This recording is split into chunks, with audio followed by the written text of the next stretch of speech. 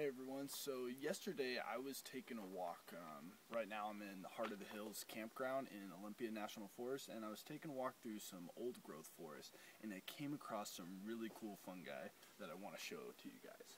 So, you take a look right over here, you'll see kind of what almost look like shelves that are kind of coming off this dead log right here. So this particular um, fungus is called uh, the red-belted conk it's a type of um, polypore mushroom.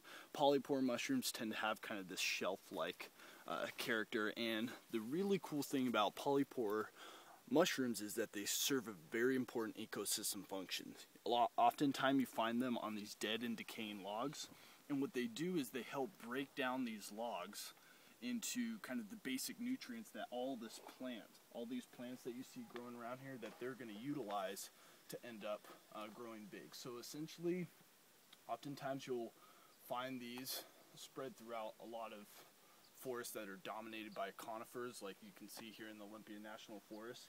And you can kind of think that without these polypore fungus, especially the red-belted conk, we might not have forests uh, that are as beautiful as the ones we find here in Olympia National Park.